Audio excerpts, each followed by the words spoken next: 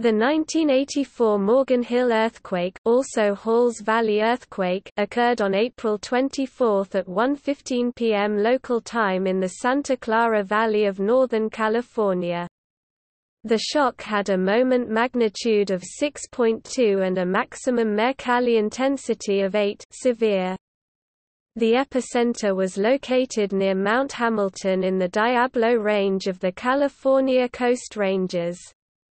Nearby communities including Morgan Hill sustained serious damage with financial losses of at least $7.5 million.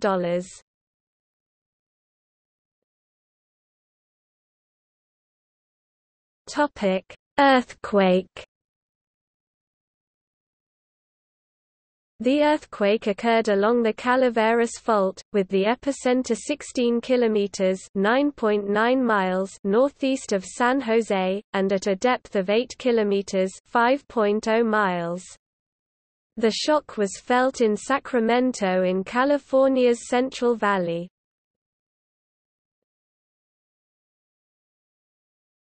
Topic: Damage The earthquake was reported to be felt over an area of 120,000 square kilometers, 46,000 square miles.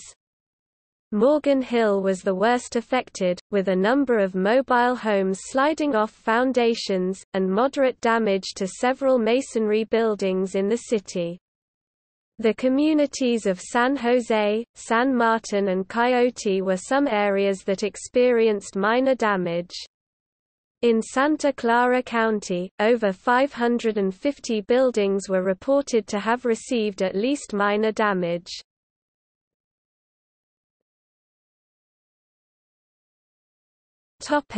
Aftershocks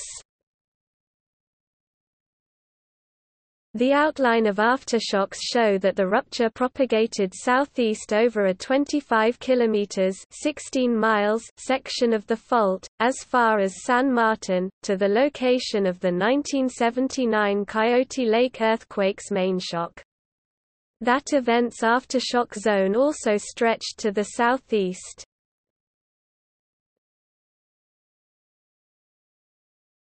Topic See also List of earthquakes in California